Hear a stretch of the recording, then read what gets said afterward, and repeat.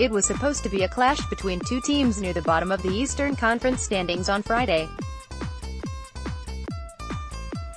It turned into one of the most statistically absurd NBA games in years.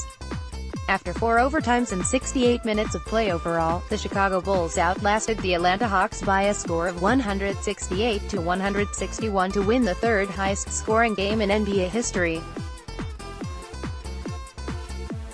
The only NBA games with a higher total, assuming you don't count All-Star games, a triple overtime Pistons-Nuggets clash in 1983 with a score of 186 to 184 and another triple overtime game between the Spurs and Bucks in 1982 that ended 171-166. It was a war of attrition between two teams that are basically jockeying for draft position at this point in the season. 15 different players topped 30 minutes on the floor. One of them was the 42-year-old Vince Carter, whose 44 minutes marked his highest total since 2012.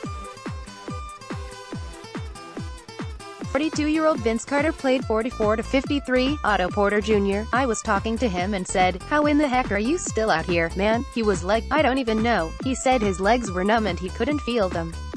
But that's like Superman out there. I'm a big fan, KC. Johnson, at Casey Joe, March 2, 2019 The funniest part, these two teams play each other again in two days on Sunday. Zach LaVine leads way for Bulls naturally, it was a game of abundant stats. Both teams posted their franchise record for scoring in a single game, and 14 players scored in double digits. The Bulls were led by 47 points, 9 rebounds and 9 assists from Zach LaVine. He saved some of his best work for overtime. Also getting in on the action was Otto Porter, who sure has looked like what the Bulls needed when they traded for the forward in a deadline deal with the Washington Wizards. He had 31 points and 10 rebounds while making a team-high 7 three-pointers.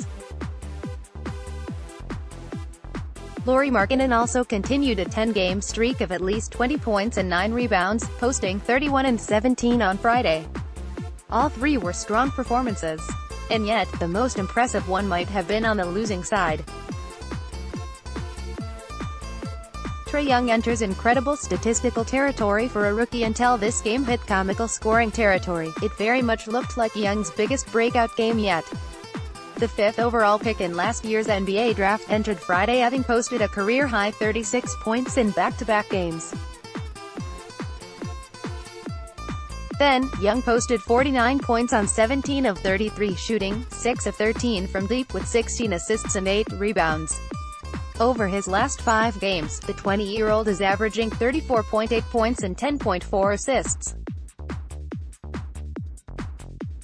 It's worth pointing out that Young also faded a bit near the end and posted a career-high 9 turnovers, but that's not unreasonable to expect from a rookie playing 56 minutes in a single game. Even with those negatives, Young has entered rare territory for a rookie. Trae Young might have shined brighter than any player on either team in the Hawks' quadruple overtime loss to the Bulls. Photo by Scott Cunningham, NBA via Getty Images. Here's a quick roundup of some milestones Young hit Friday. You're about to see the names of a bunch of NBA Hall of Famers. Four rookies in the last 40 years have scored 30 points in three consecutive games. Michael Jordan, David Robinson, Allen Iverson and Trae Young pic.twitter.com slash bevs2spns, Yahoo Sports NBA, at Yahoo Sports NBA, March 2, 2019 Trae Young is just the fourth rookie since the ABA NBA merger to score 35 or more points in at least three straight games. The others are Bernard King, Michael Jordan, and Allen Iverson. Justin Kubatko, at Jay Kubatko, March 2, 2019 End of the first overtime, Trae Young now has 45 points, 12 assists, and 5 rebs.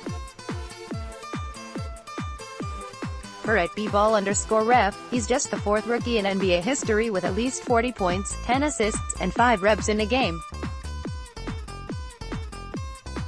The other three players in this exclusive club are Oscar Robertson, MJ and LeBron, Tommy Beer, at Tommy Beer, March 2, 2019 Those numbers don't mean Young should definitely start packing for Springfield, Massachusetts, but maybe the Hawks really did know what they were doing when they traded for the Oklahoma freshman. More from Yahoo Sports.